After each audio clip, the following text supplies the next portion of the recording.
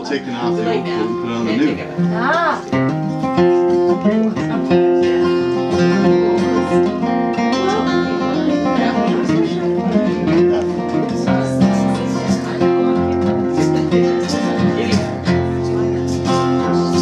Two lay before me, old and new.